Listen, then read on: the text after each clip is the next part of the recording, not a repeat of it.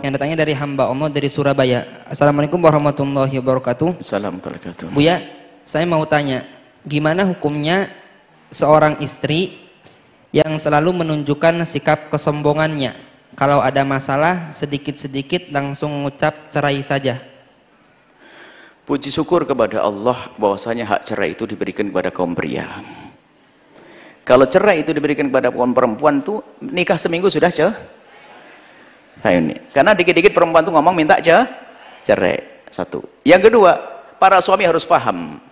Bahasa perempuan tuh bang seperti itu. Kita musuhan dikit sama perempuan tidak apa-apa ini. Perempuan itu biasanya kalau ngomong berlebihan kan begitu. Cuman berlebihannya itu kadang-kadang bukan dari dari niat jelek. Ngomongnya cerai, itu bahasanya cerai. Tapi anda laki-laki harus cerdas paham. Bahasanya cerai aku, tapi maknanya bukan itu. Maknanya apa? Yuk membuat perubahan. Andanya bebel juga, cerailah nanti dia minta cerai bukan sebenarnya minta cerai, tapi minta bahan. Cuman bahasanya orang lembut tuh begitu.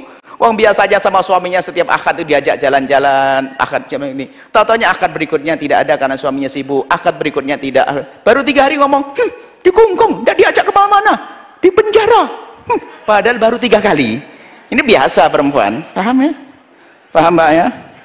Jadi bahasanya jangan terlalu ditanggapi, senyum aja, iya maafin. Itu udah beres, sambil cium keningnya sampai gigit kupingnya. Sudah beres.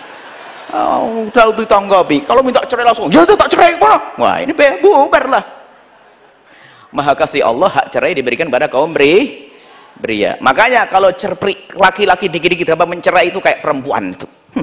Dikit-dikit main cerai. Apa itu laki-laki? Nggak punya kelebihan. Ngerayu menundukkan istri aja pakai ancaman. Kalau ini tak cerai nanti eh, Suami itu harus hebat, seni bercintanya dahsyat. Nundukkan so istri nggak harus pakai keras-keras, pakai yang lembut. Yang hitam dibilang mandi saja sudah habis kok. Eh, enggak usah pakai ngomong kasar. Laki-laki kok ngomongnya kasar kepada istri dia. Anda ini model apa ini? Anda yang mana ini? Yang, yang merasa tersinggung silahkan tersinggung. Ini saya itu hanya nyebar begitu. Yang gatelan kerasa nanti. Kalau nundukkan istri dengan kelembutan, dengan sanjungan, dengan kasih sayang itu tunduk. Selesai. Nanti insya Allah ada khusus, bapak-bapak khusus, kursus bagaimana menaklukkan istri. Nanti ibu-ibu aja juga kursus bagaimana menaklukkan suah. Mau ndak? Kasian.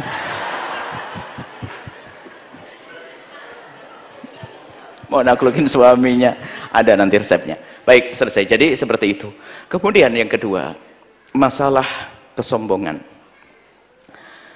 Ada isyarat la'alla ghinaha yudghiha hei wanita jika Allah memberikan kepadamu kelebihan jadikan kelebihan kelebihanmu itu untuk memperindah dalam rumah tangga.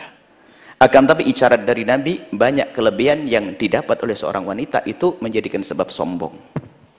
La'alla qinaha yutqiha. Gara-gara punya kelebihan kadang gampang minta ce coba amati banyak janda-janda yang menjanda itu karena dia punya kelebihan punya kerjaan punya oh, aku bisa kok cerai saja.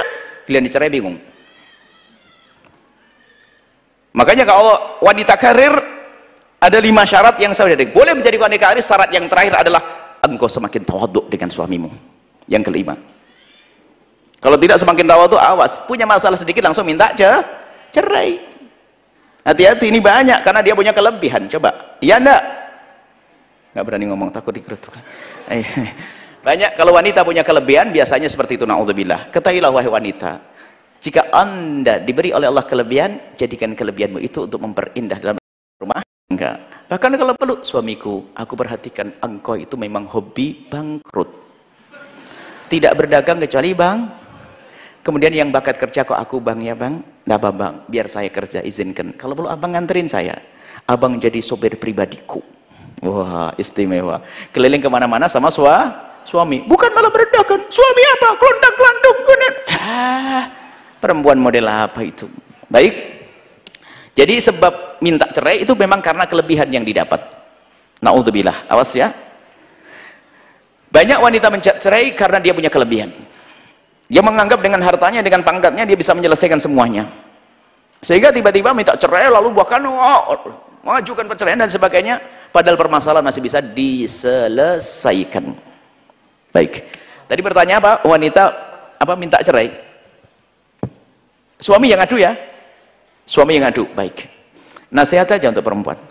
Jika ada wanita yang semacam itu, maka harus pahamkan dulu biasanya kalau memang sebut ada seorang wanita yang ternyata dalam perjalanannya pilihannya harus cerai harus difahamkan dulu dihentikan sejenak di pintu perceraian diingatkan disadarkan masalah kepatuhan iya kemudian sisi lain adalah masalah setelah bercerai.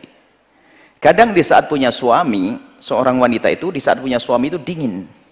Karena suaminya jahat.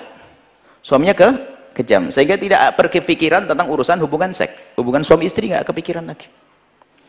Sehingga bagi dia adalah nggak penting urusan suami istri. Sehingga yang diinginkan adalah perceraian tapi ingat setan menunggu di balik perceraian. Sehingga ada wanita ngadu waktu saya katakan langsung iya begitu. Ama setelah bercerai beberapa hari ngelihat semua laki-laki seperti ganteng semuanya.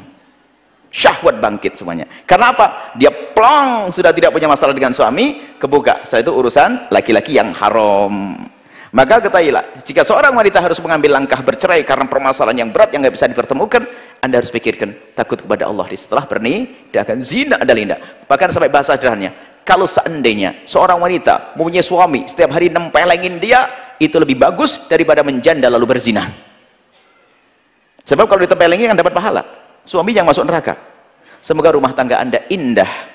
Baik perceraian itu mengerikan ya. Jangan gampang minta cerai para wanita ya jangan gampang minta cerai. Kalau ada permasalahan selesaikan. Datang kepada ulama selesaikan selesaikan selesaikan. Sisi lain para wak pria kalau suamimu kalau istrimu ternyata minta cerai jangan langsung difahami itu minta cerai. Tapi itu bahasa yang berlebihan saja. Sebelumnya mereka minta membuat perubahan. Gitu saja sudah selesai. Wallahu a'lam bishawab